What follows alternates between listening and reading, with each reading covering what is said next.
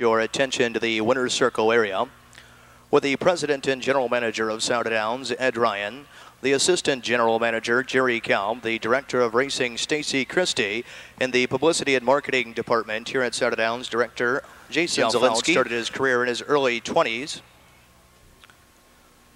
Was under the tutelage of Joe Marsh from the Findlay area. Those two quickly exited for Chicago.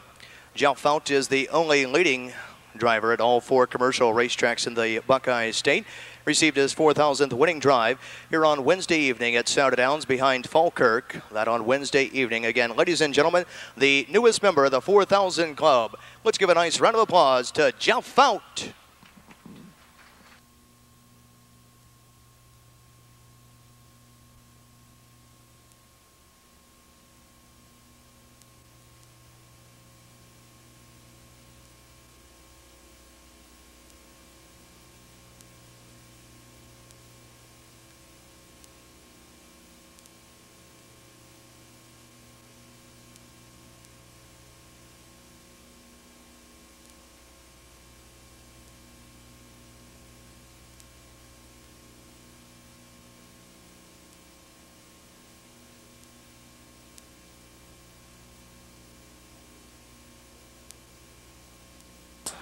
Also in the winner's circle to make that trophy presentation to Jeff Fout, the vice president of Scioto Downs, Mrs. Laverne Hill.